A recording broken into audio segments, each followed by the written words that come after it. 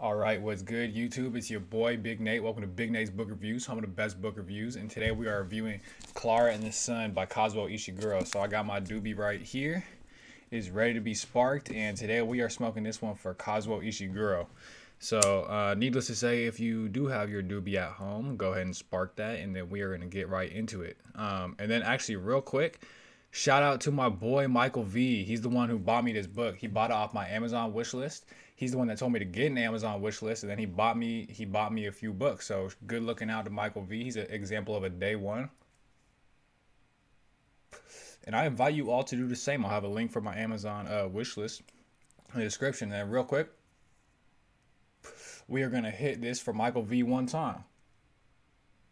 So everybody at home, we smoking this for Ishiguro, but uh, for everybody at home, go ahead and hit this for Michael V one time. Shout out my boy. But anyway, let's get into the book. So this book was published. There we go. That's officially sparks. This book was published uh, March 2nd, 2021. I know the date because it was published on my birthday. One second. There we go. Um, it was published on my birthday last year. Um, so it's just over a year old. Um, it was nominated for, it was longlisted for the Booker, it was longlisted for the Andrew Carnegie Medal for Excellence in Fiction, bunch of other stuff, New York Times bestseller, yada yada yada, all that good shit. But uh, Ishiguro himself has actually been nominated for the Booker four times, which is actually pretty impressive when you think about it. And um, he won it. He won it with um, Remains of the Day. And if you watch my book call, then you know that is uh, that is the book I meant to pick out, but I accidentally picked out uh, Never Let Me Go. So I will read Never Let Me Go. But anyway, Remains of the Day is his book that won um, the Booker. And um, yeah, he's at the Nobel Prize in Literature as well. And among other things, this is kind of crazy. He was appointed um, Knight Bachelor for his services in literature. I don't know if that's like a British thing, an England thing. I'm gonna keep it 100 with you. I don't even like is Britain part of England? Is Britain like the capital of England? I- I'm just gonna stop talking, bro. I'm just gonna stop talking. But I am being 100 with you. But anyway, shout out to um.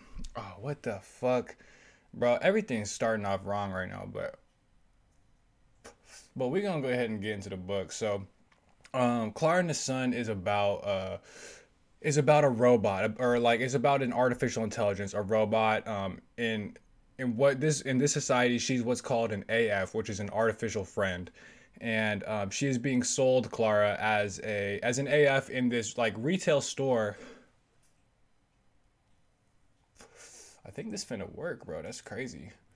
Um, she's being sold in a retail store with a bunch of other AFs. She gets picked up by this little girl named Josie, as well as by her mom, and she goes to sort of live with them on the countryside. And throughout the book, you get to learn more about Klara, more about Josie, more about her mom, as well as just sort of like society in general. There's hints of genetic editing, artificial intelligence is obviously a part of the equation. It's just sort of like this dystopian society that you get to learn more about throughout the book. But um, so yeah, that's roughly what the book is about. I'll also add that there are some potentially ulterior motives for why um, they have picked Klara up.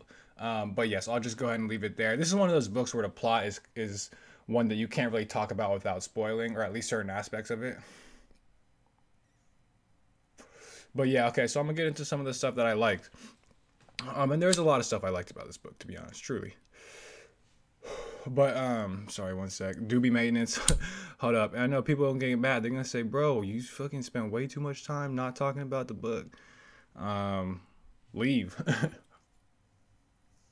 Doobie maintenance is a natural part of the process, and if you can't stick with that, then I ask, I, I, I politely ask you to leave. But um, what the fuck was I saying? Yeah, stuff I like about this book. So for one, um, I like the fact this is told through Klara's point of view. Um, the fact that Ishiguro is using an artificial intelligence as like the narrator, as the point of view, because I think sort of through by using Klara, Ishiguro is able to sort of point certain things out um, that we don't, that we otherwise are kind of too close to see. It's like fish and water type deal. Speaking of, by the way, have you read um, this is I think it's called This Is Water by David Foster Wallace, DF Dub. Um, that's a good essay, like slash speech or whatever. But anyway, that's actually kind of related too. But anyway, the whole thing is there's certain things that we kind of don't we do every day, but we kind of don't think about. We sort of take for granted. So there's this one, um, there's this one scene because she's trying to like learn. Con- she's sort of like constantly adapting to the human world and she's trying to like be learn how humans work like human behavior she's just like kind of taking notes on how we how we move and um, at one point she's like oh okay so that's crazy. So it turns out that people can be act very different according to who they're with. Like they can drastically change their behavior just according to uh, who they are around. So so she she kind of points and, and like we all kind of we've been there where it's like one kind of just stuff where it's like for one like you don't act the same with your mom as you do even necessarily like with your dad as you do with your girl as you do with the boys uh, as you do with your boss. There's just kind of that aspect of it where we really do put on sort like my people are that i'm with at work bro. I don't think they would suspect a thing of this i swear to god. I think they think i'm just some normal ass motherfucker. Uh, maybe a little eccentric you know um, never seen him in a pair of jeans. Only wear jogger ass motherfucker. Uh, but uh, anyway, yeah. So there's just that aspect of it, but there's also the stuff where it's like even within your own friend group, like I can have one group of friends, I can have another group of friends. That doesn't mean like to be honest, these two friend groups probably wouldn't get along. Definitely not with the same way I get along with them, and that's because you kind of you act one way with this group and you act one way with that group. And and Klara, that's just something that Klara notices. She's like, oh, okay, so I need to account for that. That's just part of how how they operate. Yeah, that's one uh certain just like aspect of that. And then there's another one I like that like she's at she's just like kind of watching a conversation and she's like it's funny how people go through these crazy maneuvers like these straight like social gymnastic type thing to avoid a certain topic but like in an uncomfortable one but the uncomfortable feeling is still there because like they're not they're like avoiding the uncomfortable topic like that kind of thing and that, that's like so true. We've all been we've all been that sort of like elephant in the right uh, elephant in the room type thing. And yeah so I, I don't know. Just in general this sort of device on Ishiguro's part to use the artificial intelligence in Klara as a narrator is yeah I thought that was good. I thought that was cool. And if anything I wanted to see more of it Okay, that's one thing. Another thing I liked is the fact that in this book, um, the sun is a character. The sun, S U N, is a character, most definitely. So, for one, there's just these really beautiful, like beautifully written scenes, like in terms of just the writing, like the prose.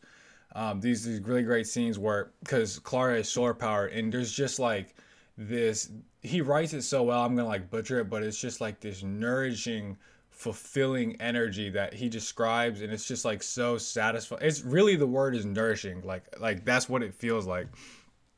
And you know i'm reading this in spring so the sun's kind of coming out and shit so it's like it's hitting a little different.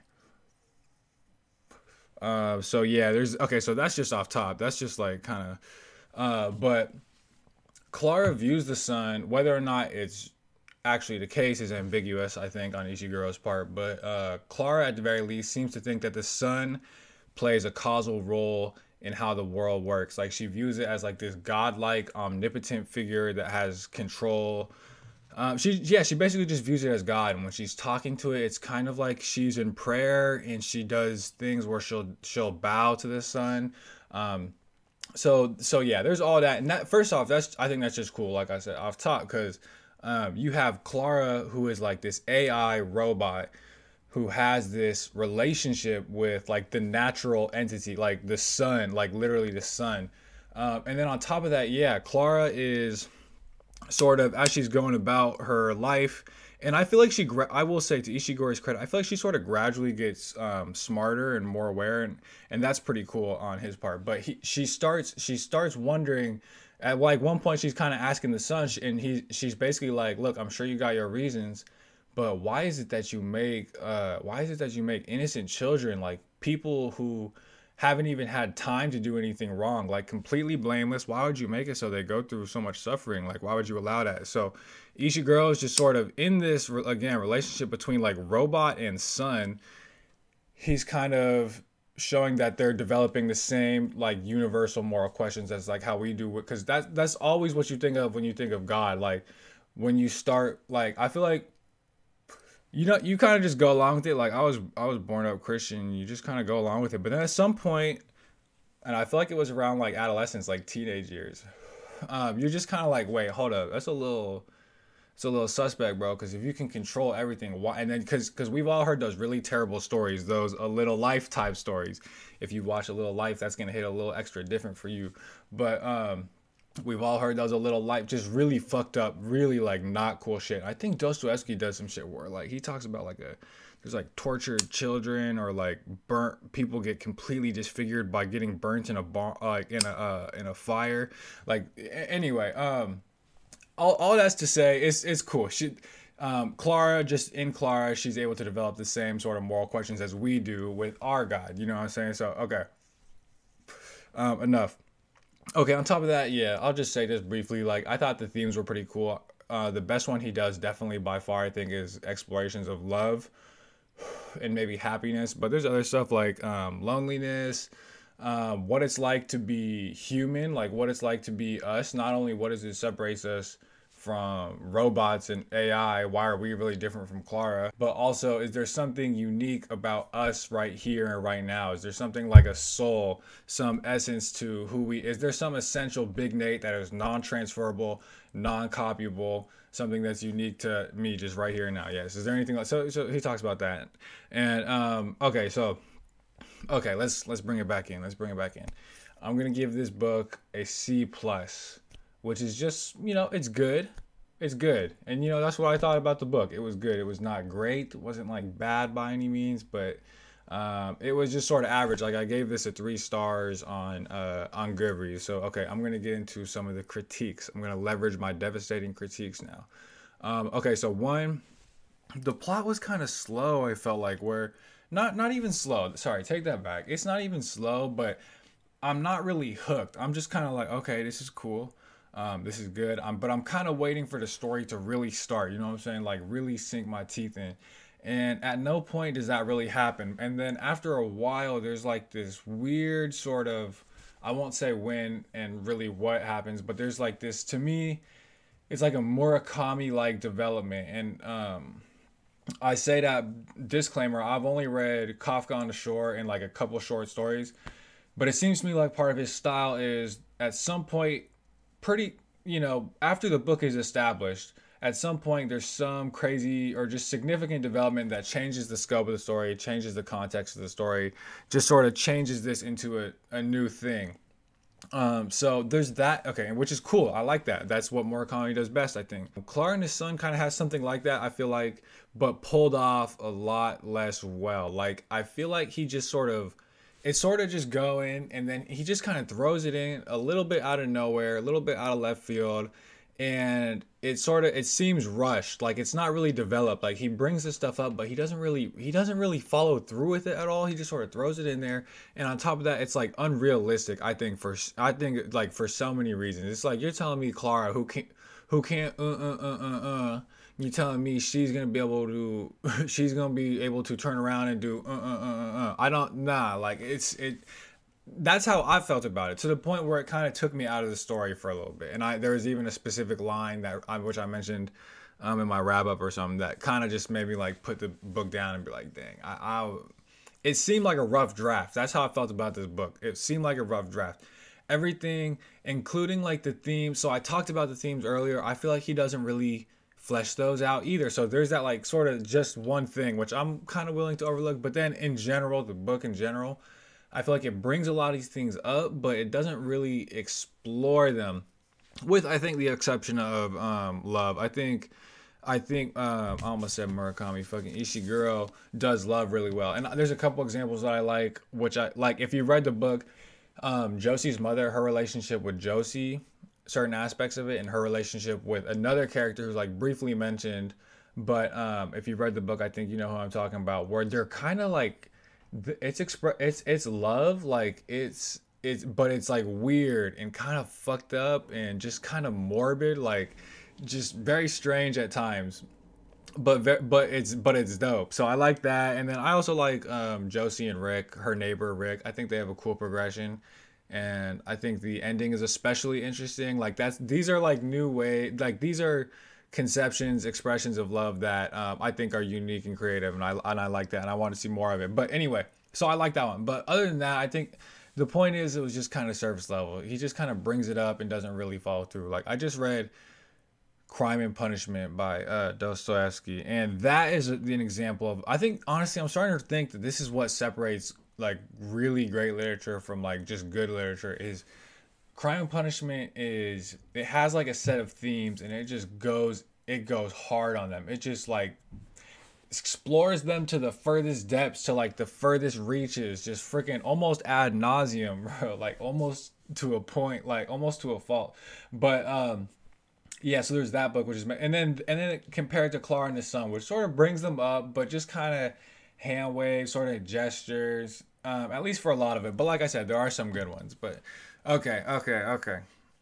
I think I'm just gonna leave it there. Oh, after one more thing, actually, because okay, so th- like I'm saying, that's like another thing that's like kind of surface level, and then the thing is with Klara, the the person who is telling this story, Klara is artificial intelligence, and what that buys Ishiguro is all the stuff, like I said, where she's he, uh, she's able to point out certain things that we don't normally uh, notice, but it comes at the cost of Klara being kind of a detached narrator and i think that's stylistic uh, like the charitable interpretation is that was stylistic on ishiguro the non-charitable is that it was just kind of bad writing but at no point do i really get to know i feel like what Klara is thinking and what Klara is feeling. Like i never know what she's even how she's feeling about this whole situation. There's a lot of things happening like she almost just sort of reacts, which again, which is why it might be, which is why it might be uh, stylistic on Ishiguro's part, but it makes for an overall sort of like arms at uh, hand length, uh, arms at hand length um, distance from the narrator. You just kind, I don't really connect with her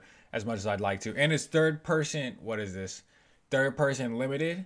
So like you get to look inside Klara's head, but none of the other characters. So all that just makes for like I can't really click with anybody here. You feel me? There, it's at a distance. But okay, I'm fucking. I'm calling it. I'm ending it here.